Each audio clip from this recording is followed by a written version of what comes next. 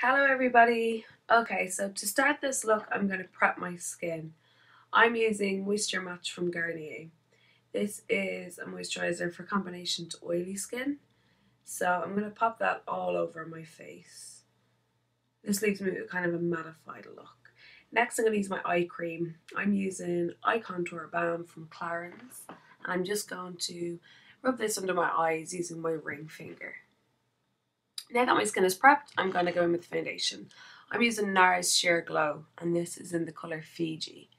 And I'm going to buff this all over my face using a Real Techniques buffing brush. This is definitely my favourite foundation brush of all time. I probably spend around five to seven minutes buffing foundation in all over my skin. I will continue to do it until I'm happy with the, the coverage and the colour it gives me, but I've edited a lot of that out.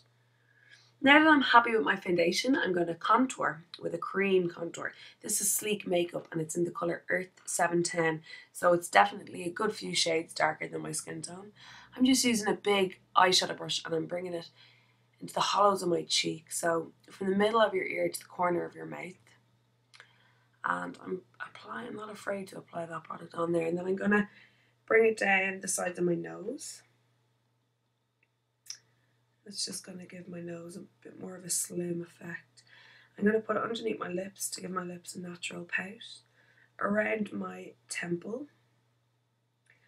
and then I'm to pop a little bit on the top of my forehead. Not to forget my eye sockets or my jawline. I'm going to chisel in a new jawline as well. So although I might look very silly now, it'll all come together once I blend it in place.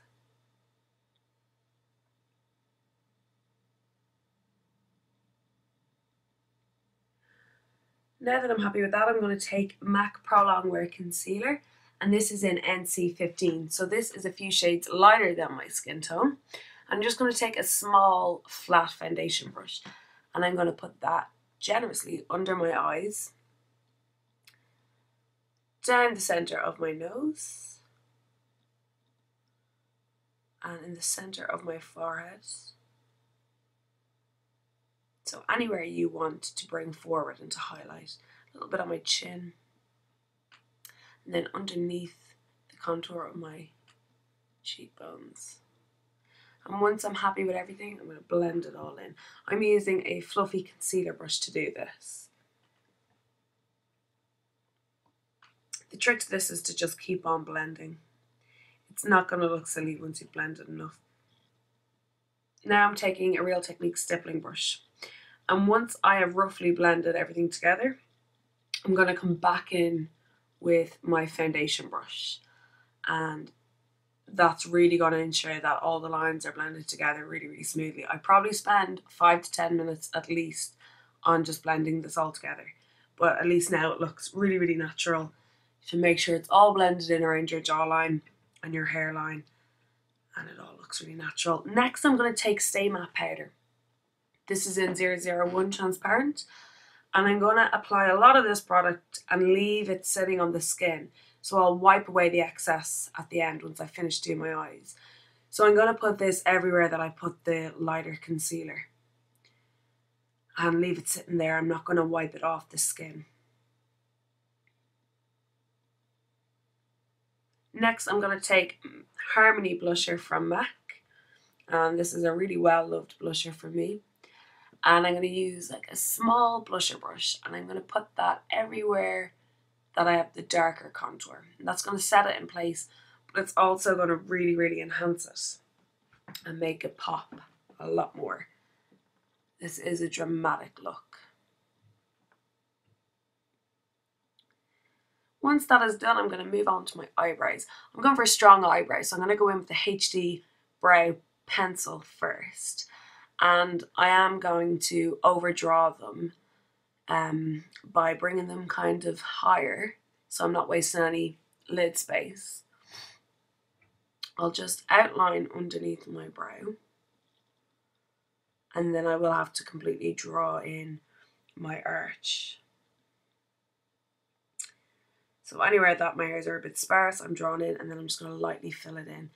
And once I've done that, I'm going to comb through and that's going to really soften any lines and make sure there's no harsh lines with the pencil.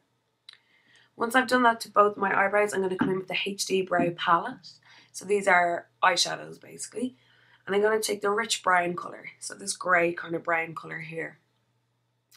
And I'm going to take a MAC 266 angle brush and fill in my brows. So I'm going to just, I'm using really light strokes doing this. And I'm basically going over anywhere that I had penciled in. So I can still faintly see the pencil, but the powder is going to stick to that now. And it's also going to look a little bit more natural than pencil. Powder always looks a little bit better on the skin. So even though I've really, really drawn on my eyebrows, they don't look too drawn on. So now that that's done, I'm going to move on to my eyes. I'm going to take Wedge from MAC and a MAC 217 blending brush and I'm going to pop that through my crease. So I'm going to do the same on both eyes and I'm going to build it up. And then I'm also going to take it underneath my eye as well and join it to the top.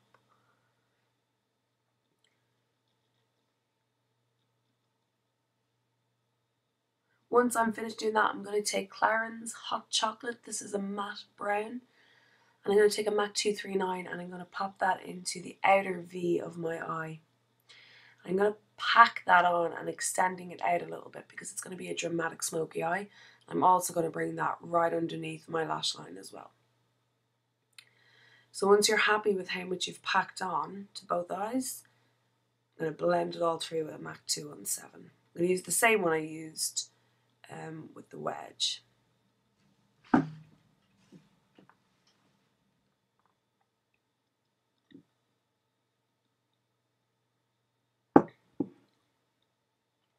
Once I'm happy with that shape, I'm gonna I'm gonna keep on building it and blending it until I am happy with the shape.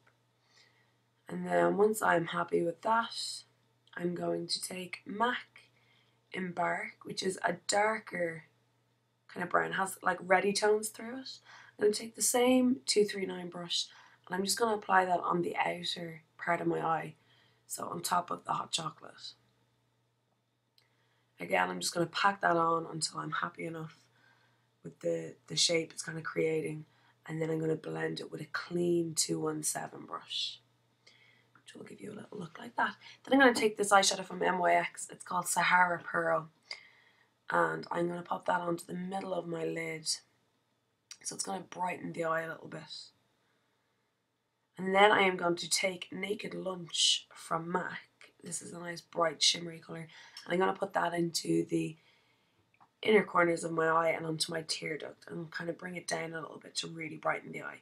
Then I'm going to take a black eyeliner. Any eyeliner will do. I don't know which one this is because the name is rubbed off but I'm going to put this onto the top and bottom lashes and I'm going to apply it quite heavy and I'm going to apply it kind of into my lashes and then smudge in the bottom with my MAC 266.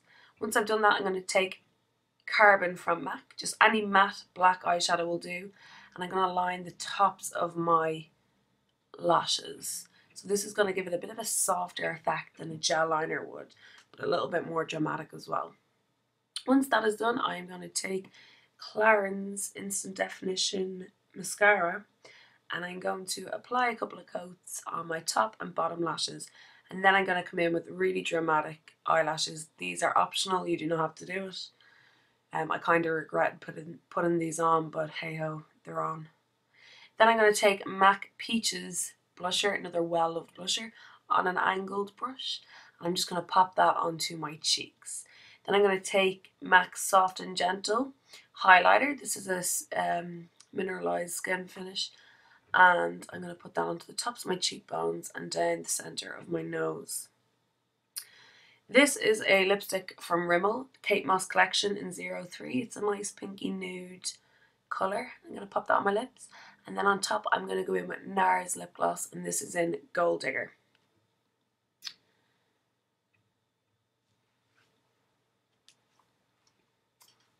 There you have the finished look. It's a dramatic smoky eye and contouring. I really hope you enjoyed this video. If you did, please give it a thumbs up and please subscribe to my channel if you'd like to see more. Thank you. Bye.